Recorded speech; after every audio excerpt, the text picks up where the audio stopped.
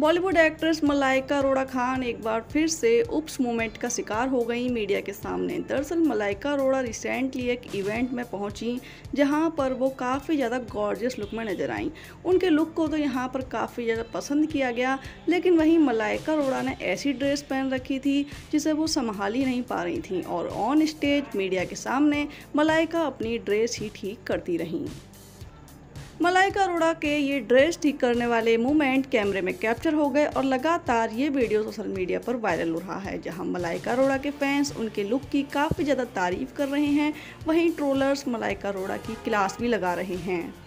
लोगों का कहना है कि ऐसी ड्रेस पहनती ही क्यों हो जो संभाली ना जाए? वहीं कुछ लोगों ने ये भी कह दिया कि जब ये एक्ट्रेस किसी इवेंट के लिए जाती हैं, तब ये घर से निकलते टाइम नहीं देखती कि इन्हें कैसी ड्रेस पहननी चाहिए।